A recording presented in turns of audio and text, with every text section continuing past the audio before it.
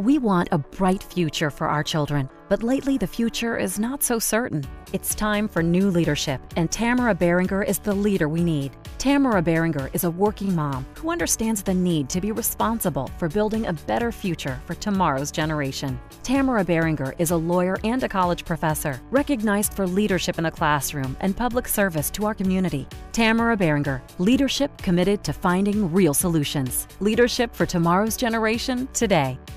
Tamara Barringer on teaching. What I try to do is inspire students to learn, to learn to love to learn, as a matter of fact. Uh, and if I'm able to do that, I, then I've done my job.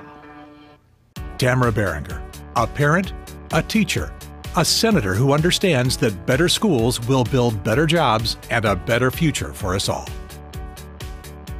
Tamara Barringer, new leadership for a new North Carolina.